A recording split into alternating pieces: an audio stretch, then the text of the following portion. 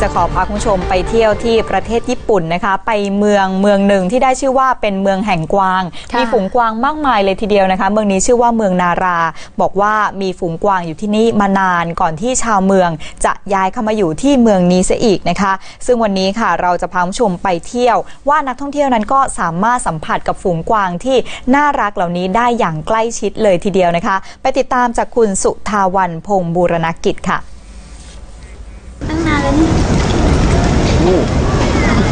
ภาพฝูงกวางที่เดินไปมาเป็นภาพที่เกิดขึ้นเป็นประจำที่เมืองนารา โดยกวางเป็นสัตว์ที่อยู่คู่กับเมืองนารามานับพันปี ตั้งแต่สมัยที่เมืองนาราเป็นเมืองหลวงของประเทศญี่ปุ่น for more than 1,300. When Nara was captured, from since there, since then, the, Na- the so many deer has been living here. Yes, because the, in Nara, the deer is considered as a messenger from the god, so we are not allowed to kill the deer here. Of course, we are very friendly each other. So there are, and the deer also very tame and friendly. เมืองนาราได้ชื่อว่าเป็นเมืองแห่งกวาง เพราะที่นี่ ตามท้องถนนหรือตามสวนสาธารณะ จะพบเห็นกวางเดินอยู่ทั่วทุกหนแห่งในเมือง ซึ่งเป็นอีกสิ่งหนึ่งที่ดึงดูดให้นักท่องเที่ยว ที่ต้องการใกล้ชิดกับกวางเดินทางเข้ามาท่องเที่ยวที่เมืองนี้ They are really um, brave because they come so close to the people, but I think it's nice to be able to touch them and everything. Yeah, maybe um, that's a little bit annoying for some tourists, but I don't mind because for me it's um, a nice thing to see the animals and to have them so close. Have you buy some food for for them? No, not yet.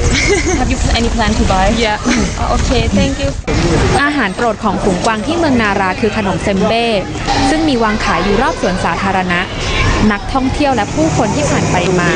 ก็มักจะซื้อเพื่อเลี้ยงกวางเหล่านี้ เดี๋ยวให้ไปเตือนสำหรับอาหารชิ้นโปรดของกวางที่เมืองนาราก็คือเซมเบ้ชิ้นนี้นะคะ มีขายทั่วไปตามสวนสาธารณะในราคา 150 เยนค่ะ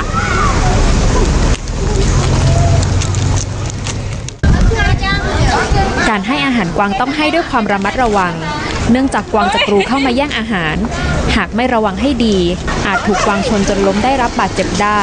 ข้อแนะนำคือควรเดินไปด้วยให้อาหารไปด้วย ไม่ควรยืนอยู่กับที่ แม้ว่ากวางบางส่วนจะดูไม่น่ารัก พยายามแย่งกินอาหารและของจากคน แต่กวางเหล่านี้ก็ไม่ใช่สัตว์ดุร้าย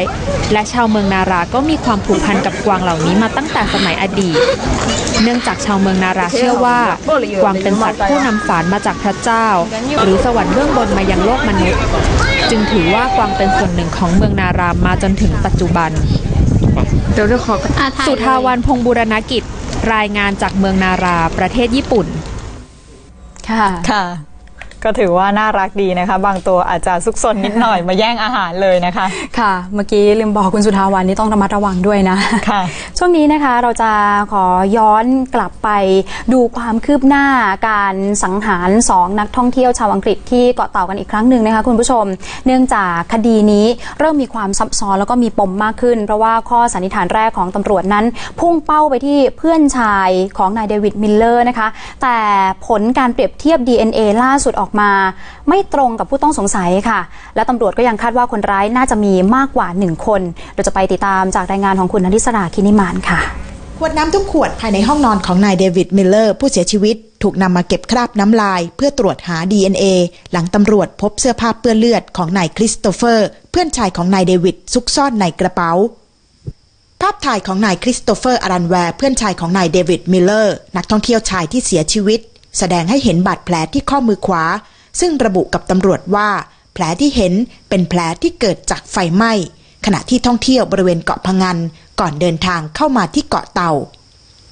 แต่จากการสอบถามเจ้าหน้าที่รีสอร์ทที่นายคริสโตเฟอร์พักนั้นให้ข้อมูลว่า ก่อนที่นายคริสโตเฟอร์จะเข้าพัก เจ้าหน้าที่เห็นร่องรอยบาดแผลบาดเจ็บที่บริเวณข้อเท้า โดยมีผ้าพันไว้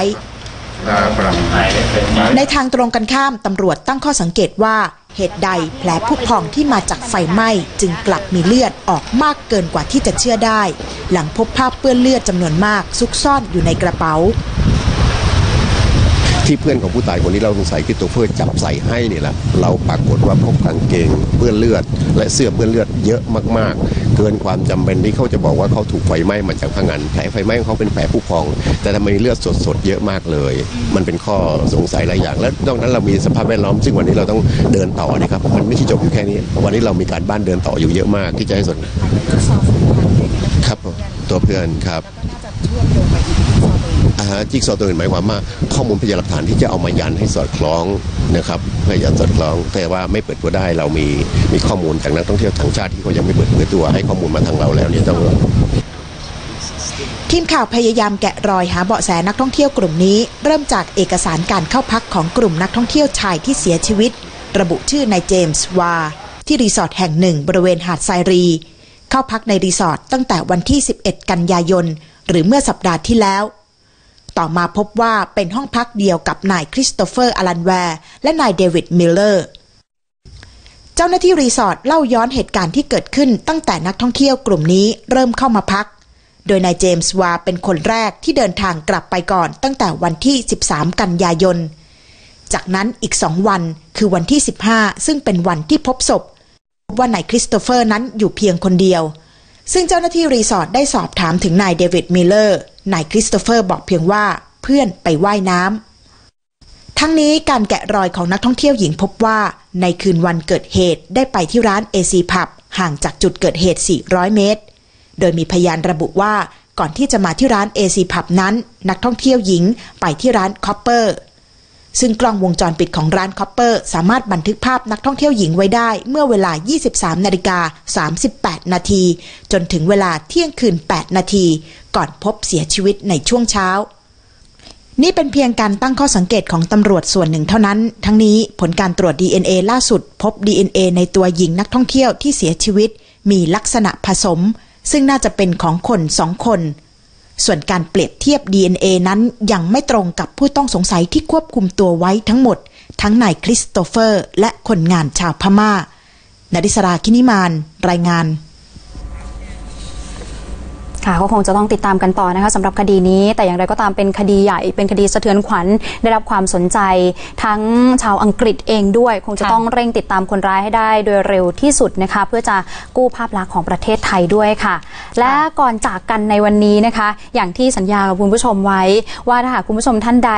ร่วมกิจกรรมกับรายการ BC News Tonight ของเรานะคะ โดยการโพสต์คลิปเข้ามาทางหน้าเพจ Facebook นะคะขึ้นมาหรือว่าแจ้งเรื่องราว ร้องเรียนเข้ามาก็ได้นะคะ ทั้งทางเบอร์โทรศัพท์ แล้วก็ทางหน้าเพจด้วยก็จะได้รับเสื้อเมื่อวานนี้บอกไปวันแรกมีคุณผู้ชมค่ะใจดีโพสต์คลิปมาให้เลยนะคะ เป็นคลิปน่ารักน่ารักของคุณแม่ที่พยายามจะฝึกให้ลูกชายร้องเพลงตามนะคะ เดี๋ยวไปชมคลิปกันค่ะโสดอะไรสองจะเป็นกระบายจะเป็นกระบายเอาอีกครั้งหนึ่ง จะสองจะเป็นกระบายจะเป็นกระบายบายจะเป็นกระบายโสดอะไรสองจะเป็นกระบายจะเป็นกระบายเอาอีกครั้งหนึ่งจะสองจะเป็นกระบายจะเป็นกระบายบายจะเป็นกระบายโสดอะไรสองจะเป็นกระบายจะเป็นกระบายเอาอีกครั้งหนึ่ง จะสองจะเป็นกระบายน่ารักมากๆเลยนะคะค่ะง่าย ๆ แค่นี้เอง คลิปอะไรก็ได้นะคะ ที่จะเป็นความสวยงาม หรือว่าเป็นสร้างรอยยิ้ม สร้างสีสัน สร้างเสียงหัวเราะก่อนนอน ก็รับไปเลยเสื้อนะคะ ของรายการของเรา BEC News Tonight ค่ะ ด้านหน้าก็เป็นแบบนี้นะคะ มีโลโก้ของช่อง 3 SD ด้วยนี่นะคะ ส่วนด้านหลัง ก็จะมีโลโก้ของรายการของเราค่ะใช่ค่ะ BEC News Tonight อยู่ใกล้คุณค่ะแบบนี้มอบให้กับคุณผู้ชมไปเลยสำหรับคุณผู้ชมที่ส่งคลิปมาเมื่อสักครู่นี้นะคะ เดี๋ยวก็ทางทีมงานจะติดต่อกลับไปเรื่องของการส่งเสื้อไปให้ค่ะส่วนคุณผู้ชมท่านอื่นๆ ก็สามารถร่วมสนุกกับเราได้เช่นกันค่ะ ค่ะ นอกจากจะเป็นคลิปน่ารักน่ารักหรือว่าเป็นความสวยงามแล้วก็สามารถร้องเรียนเรื่องราวต่างๆ มาได้ที่แฟนเพจ Facebook ของเรานะคะ และก่อนนอนคืนนี้เช่นเคยค่ะ มีภาพความสวยงามมาฝากคุณผู้ชม วันนี้ไปที่อำเภอปายนะคะ เป็นภาพบรรยากาศปลายฝนต้นหนาว ซึ่งก็เริ่มมีนักท่องเที่ยวค่ะไปเที่ยวที่นั่นกันเนืองแน่นทีเดียวนะคะ จะเป็นอย่างไรก็จะไปชมพร้อม ๆ กันเลย ซึ่งในตอนกลางคืนก็จะมีถนนคนเดิน เป็นจุดท่องเที่ยวที่คึกคักมากในช่วงนี้เลยทีเดียวนะคะ และก่อนนอนคืนนี้เราสองคนขอส่งคุณผู้ชมเข้านอนด้วยภาพนี้นะคะ ขอคุณผู้ชมนอนหลับฝันดี ราตรีสวัสดิ์ค่ะ